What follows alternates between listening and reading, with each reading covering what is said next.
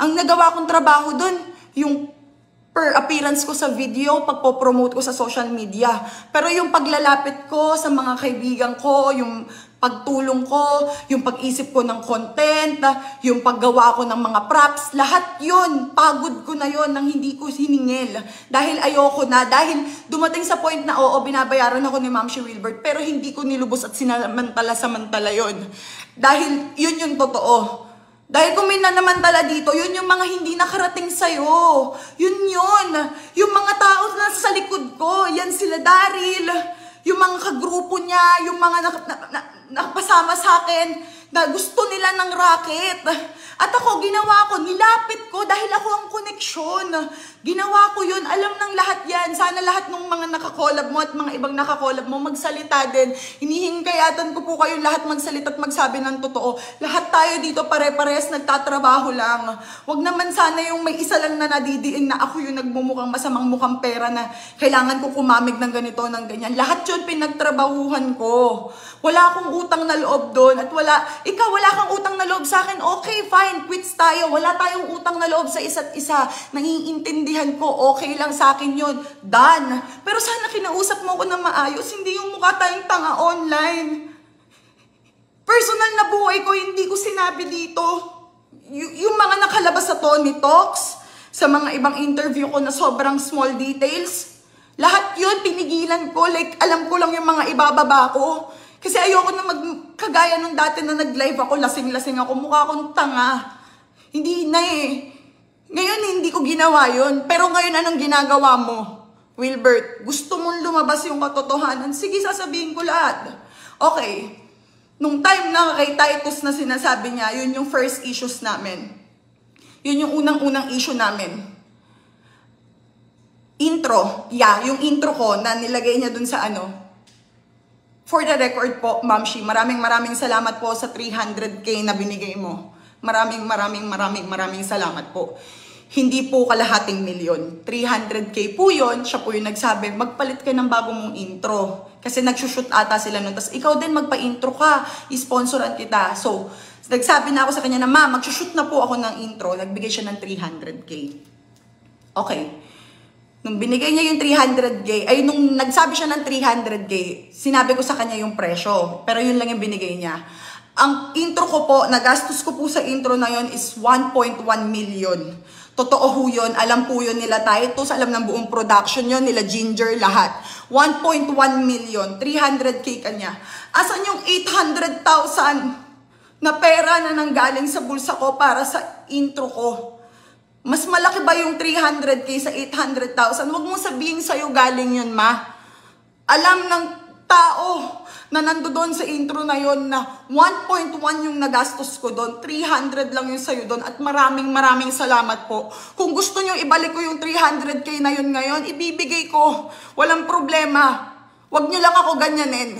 Kasi hindi totoo yung mga pinagsasabi mo, sinungaling ka. Huwag kang nagsisinungaling. Ang tanda-tanda mo na, nang gaganyan ka ng tao. Dapat hindi ka ganyan. Lalo na, alam mo ko, kilala mo ko ma. Oo, may pitik ako. May pitik ako, hindi ko hindi ko hindi ko 'yun i-deny. Pero bakit ba ako nagkapitik?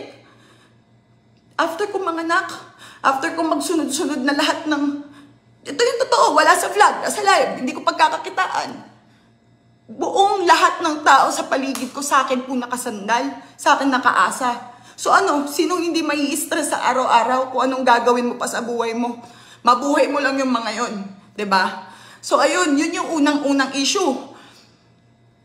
Nandito si Titus, nag-edit sila ng music video, nandito sila sa bahay ko. Sabi niya sa akin, Madam C, nagchika sa akin si Wilbert Tolin, si Sir Will. Siya pala nag-sponsor nung intro mo, eh sila Titus yung nag-shoot nun.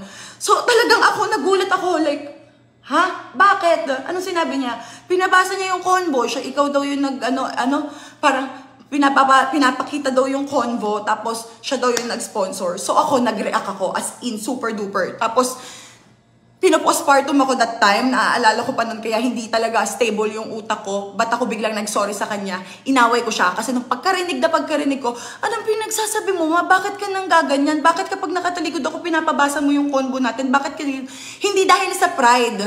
Nag-thank you po ako, pakihanap, nag-thank you din ako sa kanya.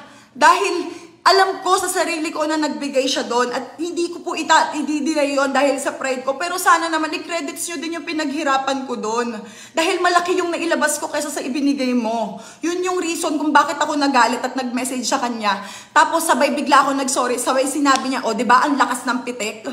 Bakit niyo ba pinagtitripan yung mental health issue ko? Ano bang problema niyo sa akin? Inaano ko ba kayo? Hindi ko kayo inaano, kahit ano wala kayong narinig sa akin.